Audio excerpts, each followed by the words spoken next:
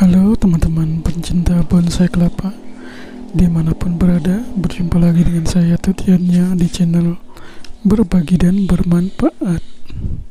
Teman ini saya punya bonsai kelapa berdaun mini. Ya daunnya hampir Sepanjang korek api ini teman-teman. Tapi sayang dia batoknya sudah lepas kesempatan ini saya akan memasang batok baru di bonggol bonsai kelapa ini. Oke teman-teman. Selamat menyaksikan video saya ini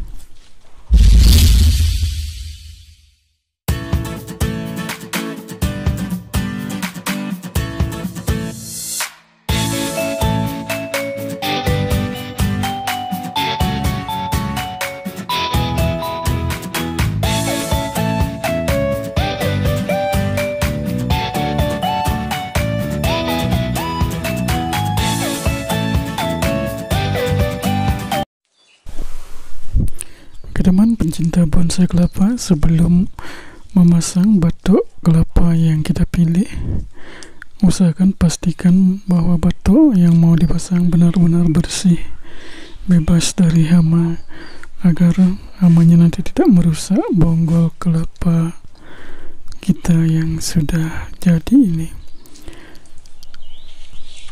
Dan ini sebelumnya tadi sudah saya cuci teman-teman dan selanjutnya kita buatkan penghubungnya dari sabut kelapa ini untuk menghubungkan mengikat dengan lem nanti antara batok dengan bonggol kelapa. Oke teman-teman selamat menyaksikan video saya